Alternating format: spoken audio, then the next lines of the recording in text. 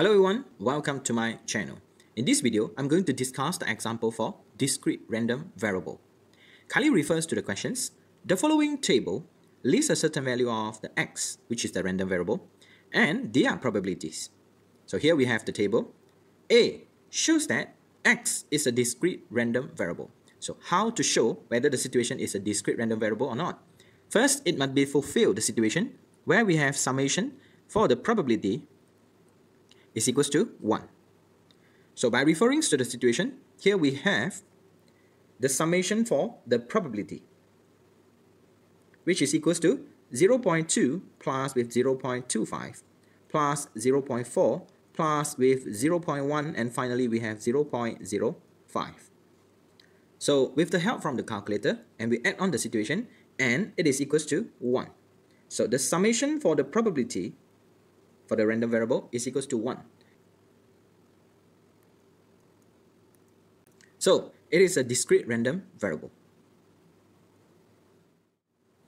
B. Find the situation. So kindly refers to 1. Where we have the situation, probability that x is greater equals to 1 and less than equals to 3. So by referring to the table, where the 1 and 3 is included. So meaning that the probability of x greater equals to 1 and less than equals to 3, it involves the probability that x is equals to 1 plus the probability that x equals to 2 and probability that x is equals to 3. Substitute the situation where we have 0 0.2 plus with 0 0.25 plus with 0 0.4. So finally, the probability that x is greater equals to 1 and less than equals to 3 is equals to 0 0.85. So number two, where we have the probability that x is greater than 2. So do remember, it is a discrete random variable. So what we have to do is to modify the situation. So it will become probabilities that x is greater equals to 3. By referring to the table, it is equals to probabilities that x is equals to 3 plus with the probabilities that x equals to 4 and the probabilities that x is equals to 5. Kindly substitute the value where we have 0 0.4 plus with 0.1 plus with 0.05. So the probability that x greater than 2 is equals to 0 0.55.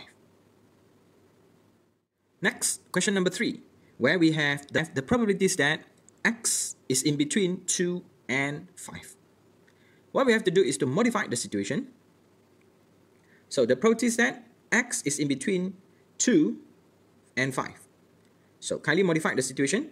So where we have the probability that x is greater equals to 3 and less than equals to 4 because it is a discrete random variable and the sign is very important.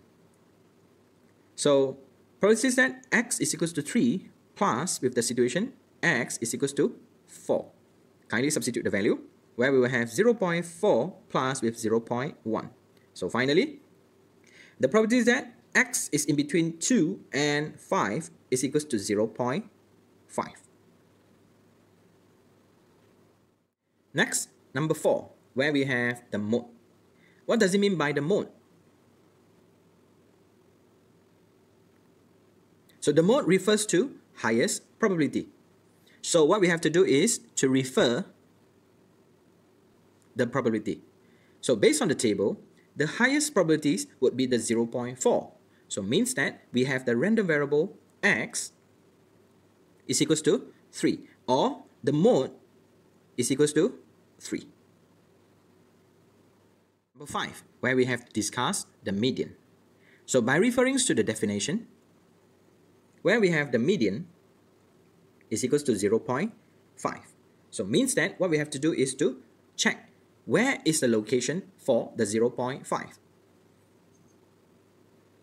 So here we must refer to the cumulative probability equals to 0.5.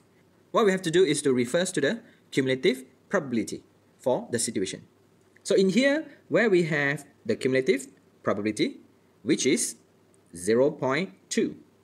Next, followed by 0.45 because we add on the 1 and the 2. Next, followed by 0.85, Next, 0.95. So finally, we have 1. This is what we call the cumulative probability distribution. So where is the location of 0.5? So when we're referring to the table, kindly refers to F2. So by referring to F2, where we have the cumulative probability, which is stopped at 0.45. So next, what we have to do is to refer to the 3. Where is the location of 0.5? So very obvious, the 0.5 is located at x equals to 3. So what is the median? So the median is equals to 3. So here we are. And thanks for watching.